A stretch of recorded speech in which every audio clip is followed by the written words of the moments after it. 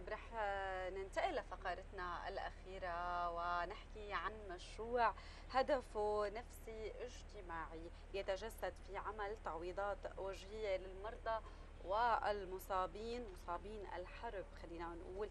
عادة ما يكون شخص فقد عينه أو أنفه أو جزء من وجهه أيضا بسبب له حالة وممكن ينعزل وأيضا هيك مبادرات كانت مهمة وضرورية بهذا التوقيت. نحن مرينا بحرب أكيد فقدنا كثير أشياء. لنحكي أكثر عن هيدا المبادرة يلي بتبث وبتزرع الأمل والحياة. بصرنا نرحب بضيوفنا يلي مستلمين المشروع الإنساني. بصرنا نرحب بالدكتور كريم نحاس وأيضا المعوض مؤيد الدادة تعويضات وجهية. أهلا وسهلا فيكم. ويسعد صباحكم. صباح النور أهلا يسعد صباحكم واهلا وسهلا فيكم.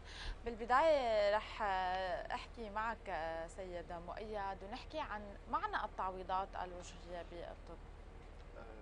هلأ من فترة قريبة كثير بالعالم تطور هذا العلم لحتى أخذ منحى كثير تجميلي ومنحى تعويضي. في عندنا نحن حالات كثيرة ممكن تكون نتيجة استئصال كانسر سرطان نضطر نستأصل أعضاء من الوجه كأنف كشفة كعين.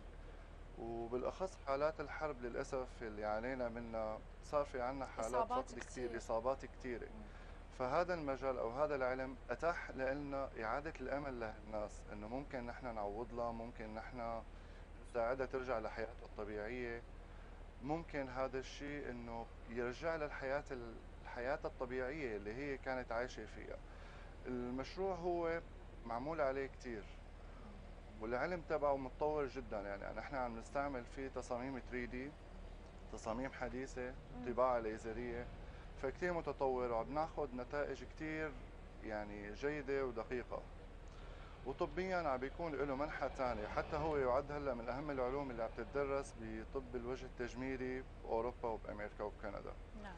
ونحن حبينا ننقل هالتجربة لأرض الوطن لأنه الوطن بحاجة لها وحابين نحن نتساعد فيها نرجع البسمة والضحكة لكل الناس اللي تعرضت لهالشيء وللأسف نحن حنحاول نساعد. بالنهاية هذا واجبنا. تماما. يعني سيد مؤيد مثل ما ذكرت هي لي آه، خلينا نقول لزرع الأمل وإعادة هيك شوي آه، أكيد أي إنسان بيفقد أي شيء من جسمه فهو بيتعرض لصدمة نفسية وحالة نفسية. يمكن بهذا الاختصاص نكون هيك نقدر نزرع الأمل. رح ننتقل لك دكتور كريم ونحكي عن أهمية هذا الاختصاص وقد إيه دوره فعال بظل يعني بهذا التوقيت بظل الحرب اللي نحن مرقنا فيها. تماما. هلأ وقت لما يكون في عندنا حروب وكوارث وخاصة نحن إذا مشي تاريخيا بالحرب العالمية الثانية نحن بينقسم العلاج إلى قسمين. القسم الأول بيكون فوري وهو المحافظة على حياة المريض. بعد فترة بينقذ عديد من المرضى ولكن مشوهين بيكونوا مشوهين وبحاجة إلى تعويض تجميلي ووظيفي. هون بتيجي بعد مرحلة ثانية. وهو العمل على التعويض. آه، طبعا مثل ما قلت لك تعويض تجميلي وتعويض وظيفي. آه، طبعا تطور العلم عن أيام الحرب العالمية الثانية. أصبحنا اليوم نعتمد تقنية الثلاثي الأبعاد. يعني أصبحنا اليوم نرسم الجمجمة ونستطيع من خلال الجمجمة إنه نعمل كاست أو تمثيل للجمجمة ونعمل تعويضات نستطيع أن نعوض عن فك نستطيع علوي نستطيع أن نعوض عن فك سفلي. أيضا استطعنا أن نعوض عن أجزاء من الوجه مثلا مثل العين مثل الأنف بشكل يضاهي الطبيعة. طبعا هذا النظام تطور اللي بيسموه إحنا آه، جهاز ثلاثي الأبعاد المحوسب. آه، طبعا آه، بلدنا نحن بحاجة لهذا لأنه في عنا عدد كبير من التشوهات. الحقيقة الحرب للأسف أسفرت عن تشوهات في مستوى الوجه. صحيح. في مستوى العين مستوى الأذن. ورحنا حسينا رحنا قادرين إنه نفيد هؤلاء المرضى. نفيدهم ونعيد ما بقول لك 100% لحياتهم طبيعية ولكن قد نقول 80 إلى 90% نعم. آه سيد مؤيد خلينا نحكي شوي. هلا كنت عم تقلنا إنه هذا الشيء فعال آه، جدا بأوروبا وحبيتوا تنقلوا التجربة لسوريا علما إنه سوريا كان فيها عدد كبير من الإصابات جراء الأزمة اللي صارت وجراء أيضا حوادث معينة كمان.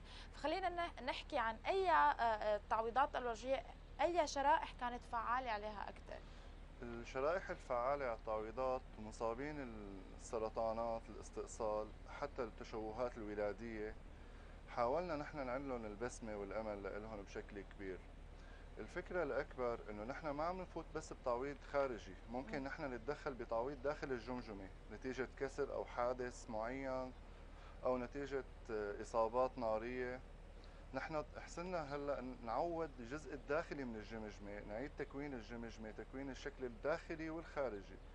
بشكل عم نعطي نتائج مثل ما تفضل الدكتور كريم قريبة لل 90%. هذا المريض أما عم بشوف النتيجة الأولية عم بيكون مسرور كثير بعد الإصابة اللي تعرض لها هو. فبصير يطلب منا أكثر وأكثر لحتى يرجع للحالة الطبيعية له يرجع يندمج مع المجتمع ما يعتبروه إنه هو مشوه. للأسف يعني نظرة المجتمع تبعنا لحد هاللحظة بتنظر للمصابين نظرة شفقة. صحيح. أو نظرة خوف أحيانا. فهذا الشيء نحن حابين نساعد المريض إنه لا هو إنسان عادي تعرض لحادث طبيعي. نحن حنرجع الأمور طبيعية نحاول قدر الإمكان نرجعه لحياته الطبيعية. يرجع يندمج مع المجتمع بشكل كامل يرجع يتعامل مع الناس كأنه هو مو فائت شيء. فهذا الاختصاص كثير عم بيساعدنا بهالأمور هي ومثل ما خبرتك نحن عم ندخل أحيانا لداخل الجسم. يعني داخل عظم الجمجمة مو فقط خارجي. عم نعطي أداء وظيفي عم نعطي أداء جمالي. نعم. يعني آه، لا خلينا نقول آه، هذا العمل ما بالعمل السهل وخاصة هو بيلعب على آه، العامل النفسي وعلى الداخلي للشخص الفاقد الشيء سيد مؤيد.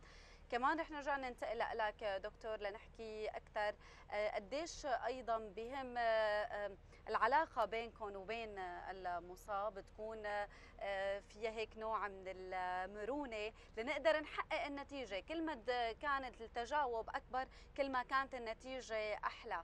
قديش؟ تماما. هذا أهم شيء بكل فروع الطب أهم شيء العلاقة بين الطبيب والمريض يعني. تماما.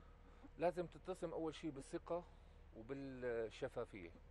هلا أحيانا نحن يعني للاسف بلدنا ما لا موجوده ولكن يجب ان تكون موجوده لازم يكون عندنا وسيط وهو الطبيب النفسي أو. على الاغلب لازم. هو العامل النفسي يعني قد يكون آه، مختص نفسي مو شرط يكون طبيب آه، لأنه بتعرفي أنت المريض فجأة تعرض لإصابة وأصبح مريض يعني مصدوم آه، مصدوم يعني وبالتالي عنده مشكلة هو عنده رغبة إنه يرجع مثل ما كان هلأ عم نعاني بمشكلة وأنا عانيناها إحنا والأستاذ مؤيد إنه المريض عم بترجعيه ما عم بيقتنع. يعني حتى عم بترجعيه 100% ما عم بيقتنع لأنه في شيء في معين تشوه نفسي في تشوه نفسي. وبالتالي أنا برأيي إنه لازم نستعين بالأخصائي النفسي لحتى أيضا نعمل له ترميم نفسي قبل ما نعمل له الترميم الجسدي والعضوي.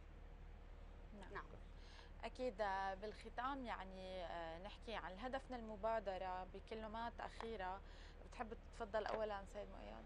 هلا نحن فاتحين الباب للجميع. لأي جهة حابة تتواصل معنا نحن جاهزين وجاهزين نقدم خبراتنا. نحن الحمد لله خبرات وطنية وعم ننقل تجربة برات سوريا. هي تجربة أوروبية عم نحاول ننقلها لأرض سوريا وبأيدي سوريا من أطباء سوريين من معوضين سوريين. وإن شاء الله نحسن نقدم هالهدف هذا. وأنا بدي أشكر كل مين يعني ساعدنا وبشكركم كمان على هاللقاء.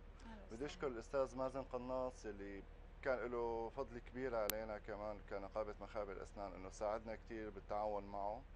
بدي أشكر الدكتور مازن موسى كمان كان له فضل كبير بهالأمور هي. وبدي أشكر الدكتور كريم يلي هو بالأساس يعني من أبرز الجراحين الوجه بسوريا وله عمليات عن جد بتشهد له واشتغلنا سوا كذا حالة. والحمد لله كانت النتائج مبهرة جدا.